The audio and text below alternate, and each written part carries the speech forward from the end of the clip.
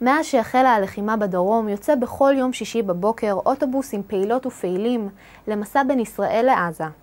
המטרה המוצהרת לקדם עקרונות של סובלנות, הבנה ואי אלימות, לראות מה שהתקשורת מנסה להסתיר מאיתנו, את פרצופו האמיתי של האויב. בשעות בוקר הם נפגשים למשימה הראשונה, קישוט האוטובוס בפרחים. משם הם נוסעים לבקר פצועים עזתים, חיילים, מקיימים שיחות עם הורים שכולים, מעבירים ציוד הומניטרי לתושבי עזה ומשוחחים עם תושבי שדרות ועוטף עזה. באוטובוס השלום יש את כל מה שנדיר היה למצוא בחברה הישראלית בימים אלו. סובלנות, הקשבה, חמלה ורצון לקיים שיח. כנראה לא סתם נפקדו ממנו הישראלים. אוטובוס השלום, הכתבה המרכזית.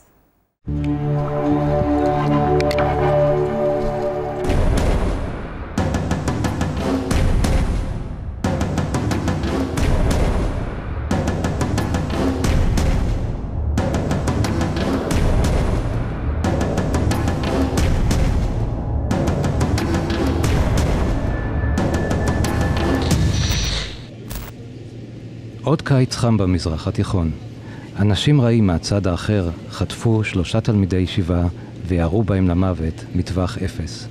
מהצד הזה, שלנו, אנשים יראי שמיים ורעים לא פחות, חטפו נער פלסטיני כחוש ושרפו אותו למוות בעודו בחיים. משפל המדרגה הזה, הדברים רק הלכו והידרדרו. יום שישי, גן הפעמון בירושלים. בין מנוסה לממ"ד לתביעה בים המלל הפטריוטי המתלהם והתמונות הקשות בטלוויזיה, התבקשתי לתעד אוטובוס של שלום שיצא מכאן לרחבי הארץ ויפיץ מסר של שלום, פיוס ואחווה.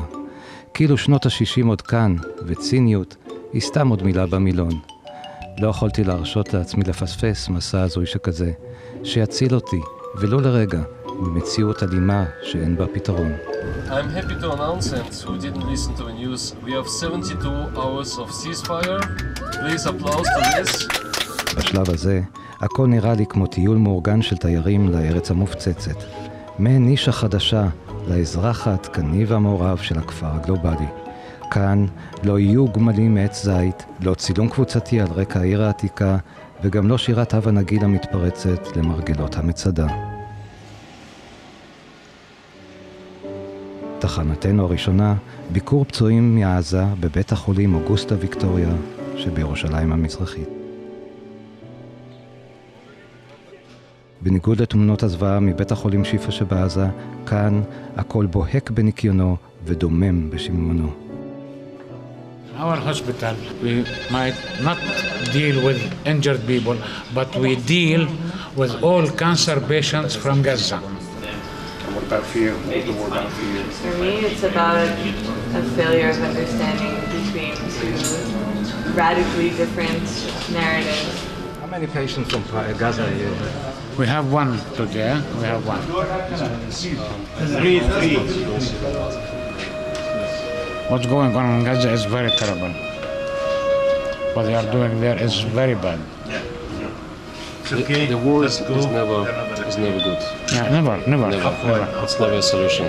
She is not only uh, injured; she lost two kids and another other relative, and she she lost her house and other things. Ibrahim, Okay, who is- can we go to Makassar again afterwards? Because uh, now we have uh, only one patient. לא חצינו שום גבול מדיני. מעבר הגבול הפיזי הוא של כמה מטרים בודדים, אבל ההרגשה היא שנחתנו על פלנטה זרה. למרות שהמסדרונות, להוציא כמה כתובות בערבית, נראים בדיוק כמו בית החולים קפלן או אסף הרופא. صاروخ حدث صاروخين على البيت البيت كله تهدم علينا עכשיו צריך להשאיר מבט אל עיניה של ילדה פצועה. מזל שיש לי מצלמה להסתתר מאחוריה. עמי מסטשדות ובאי כולם מוסבים. בשלב מסוים, המצלמה כבר לא יכולה להוות מסתור, והמציאות מכה בי בכל כוחה.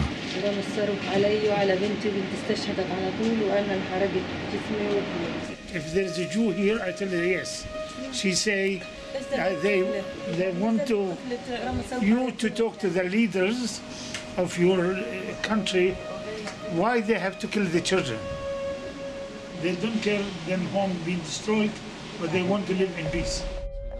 מאחורי ההתארגנות הזאת עומד ויטלי מרקוב, עולה חדש מאוסטריה וסטודנט להיסטוריה באוניברסיטה העברית. בפעם הראשונה שוויטלי ניסה להגר לכאן, הוא פגש פנים אל פנים את סבבי האלימות, הדם והייאוש, הוא נס חזרה אל ערי האלפים המושלגים וכרי הדשא המוריקים של ארץ מולדתו. עכשיו, הוא שב אלינו נחוש מתמיד לנסות ולשנות, ולו במקצת, את המציאות באזורנו. What, what we did for them, what, what our children did for them when they destroyed, they are being fasting, and 10 minutes they waiting for to eat, the missile coming into them home and destroy them home. They will fight. If they fight, they have to fight soldier to soldier, not to kill children. احنا بنوصل مسحتنا من كل شيء احنا No water, no electricity, no food. بنعيش حسب الحصار احنا We want to عايشين live. عايشين في حصار We احنا want to live like the other nation. אז ככה זה היום, מה שלא מצולם לא קיים. לא רק אני אוחז מצלמה, חצי מהקבוצה הם על תקן של מתעדים עבור המדיות השונות. אני פחות או יותר הישראלי האותנטי היחידי כאן. לאן נעלמו כולם? Um, I was here with my film partner making a completely different film, but once we saw the news, we knew that everything was going to be changing very fast. So now I'm working on my own for a project about racism in Jerusalem, not just between Israelis and Palestinians, but also the Israeli right and the Israeli left. A lot of the people have a lot of hate right now. I want to focus on the good people are doing because in America, the media that we get is a lot of politics, war, bombs, a lot of stuff that makes people feel very um, badly about the region, and I want to sh- shed a po- more positive light on what people do to improve the region. בכניסה לתל אביב, אנחנו מתבשרים שהפסקת האש הופרה, והאופוריה והתקווה שליוו אותנו בתחילת הדרך, התפוגגה אל תוך החום והלחות של השפלה. אם לא נדבר, זה לא ייגמר. המובן מאליו שלא נאמר עד שקמו הורים שכולים, יהודים וערבים, שהחליטו שבמקום לשקוע במעגל הדם והנקמה האינסופיים, יש לקרוא לדיאלוג בין העמים. הדבר הזה שאתם עושים כאן הוא דבר יוצא מן הכלל ויחיד במינו ואין כמוהו בעולם כולו. אחד הדברים הכי חשובים שנעשים כאן היום בניסיון ליצור דיאלוג עם האחר. Hello, my name is Anwar. Uh, I'm connected to this country also because my father is Syrian. Well, since I was a child, this country has been a big topic in my family with whatever.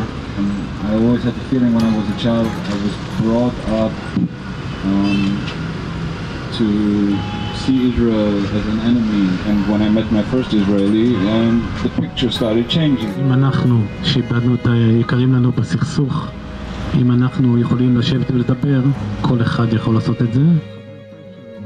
רוני איבד את בנו אמיר בפיגוע שהיה בצומת בית ליד בשנת 1985, בו נהרגו 21 חיילים. פתאום אתה בעולם אחר, עולם שמי שלא נמצא בו, אה, אי אפשר לתאר לו אותו.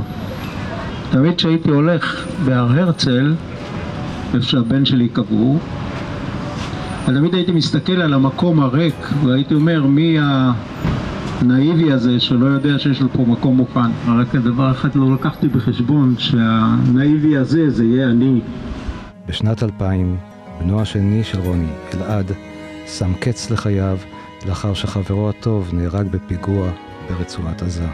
It's more difficult to convince you that killing is okay because you lost your own children. And I think it's you who gonna find for us maybe one day a solution out of your sorrow, out of sorrow of millions of people who are suffering at the moment on both sides. התחנה הבאה תל השומר. המטרה, לפקוד חיילים שנפצעו בקרבות בעזה. הביקור לא מתואם, אבל זה לא מה שירפה את ידיו של ויטלי. המטרה הופכת לבלתי אפשרית, כשמסתבר שעמדת המודיעין נכבשה על ידי חסידי חב"ד חמושים בתפילין.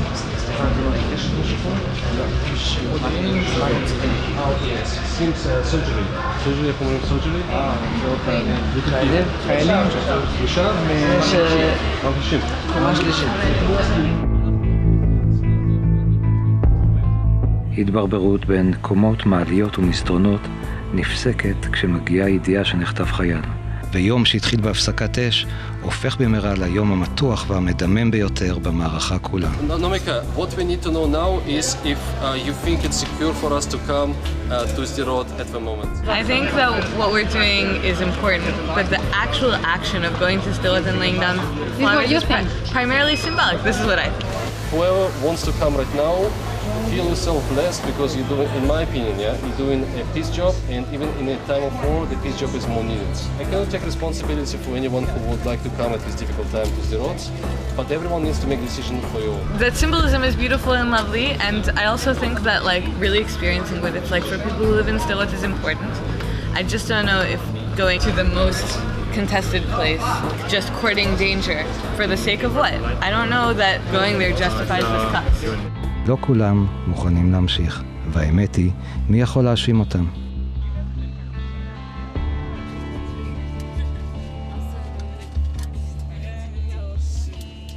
I hope to see you all soon. לידי מתיישב חאג' אברהים. המדריך שלנו למסע הזה הוא פעיל שלום ותיק. יש סיכוי פעם שיהיה שלום פה? לא.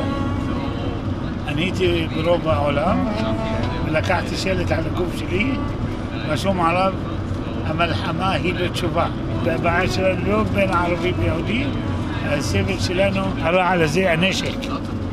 הבעיה שלנו נשק, וכל הזה, באמת איך לפתור את הבעיה הזאת, אני לא יודע. עוד רגע אנחנו בשדרות. בפעם הקודמת שהאוטובוס המאותר בפרחים וכרזות, בעברית, אנגלית וערבית, הגיע לכאן, זה כמעט ונגמר בלינץ'.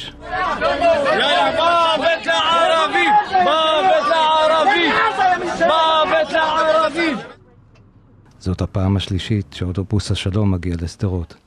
יש כאן קול אחר שהם רוצים לשמוע, קול רהוט וברור, שאינו נשמע משום מה בתקשורת הישראלית. After six, seven years of ongoing conflict, we were very down in Sderot and the region, and we decided to discuss our feelings towards the situation here. And we realized that all of us, we don't believe anymore that military force will solve any problems in this area. And uh, we decided to raise another voice from this, uh, from this region. Six and a half years ago, we started to, to to talk with people from Gaza. Maybe the deeper goal was uh, to to make the invisible visible Because the Palestinians, for the majority of Israeli society, for many years, I think, are just invisible. We speak to them almost every day. What's going on here is a catastrophe. לך לעזה! לך, אל תבוא לפה! לך מפה! לא רוצים אתכם פה! זה מכעיס שאתם באים לטרוח לנו על הדם! אתם לא What we experienced here in Sderot with people from the bus two, two weeks ago, it was um, quite a traumatic uh, event for all of אני לא us. רוצה לא אותך ולא את הערבי! שניכם לא רוצה אתכם אני! לא רוצה אותך! אחת המילים הבולטות ביותר שהיו בצעקות שצעקו עלינו זה היה המילה אה, חוצפה. אנשים הרגישו שזה סוג של הפגנת מחאה נגדם ולא כמו שבאמת האוטובוס רצה להיות הפגנת אה, תמיכה בכל מי שסובל מהמלחמה באזור הזה. המלחמה הזאת אה, יש בה פוטנציאל לגרום להרבה אנשים לחשוב אחרת. Especially after the second Intifada 2000, and 2000, we built not just a wall, of physical wall, security wall between both sides. Uh, it became um, a metaphor wall. It's, it's emotional wall, consumed with consumed with so much hatred and hostility and fear of both sides. אנשים בשדרות שעבדו עם פלסטינים מעזה ושהלכו לשווקים לקנות אה, בעזה ועזתים שבאו לכאן, הם יודעים שאפשר לחיות בשלום. I'm very grateful to be down here. I of- many times asked myself, is it worth going down here? But we cannot be like tourists coming down. I think if we really can emphasize what is happening with the children there, with the families, with the soldiers here, so I hope this liberation we can go step by step and thank you very much. הפרחים הדבוקים לחלון כבר קמלו. אבל הפגישה האחרונה נטעה בלב כולנו את האמונה שאולי יש לנו עוד תקווה. דקה דומייה לזכר קורבנות האלימות באזורנו. בתחילה הייתה כוונה לערוך טקס סמלי קצר במעבר ארז, אבל עקב הנסיבות, עץ חרוב מאובק בין שדרות ליד מרדכי התנדב למלא את החסר.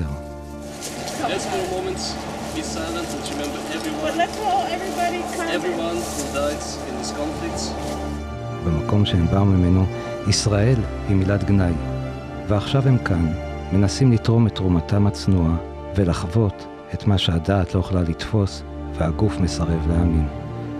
אני מביט באנשים היפים האלה ולא יכול שלא לאהוב אותם. הם עדיין מאמינים, מאמינים בטוב. הטוב הזה ודאי נמצא אצל כל אחת מאיתנו. אולי פשוט צריך למצוא אותו מחדש.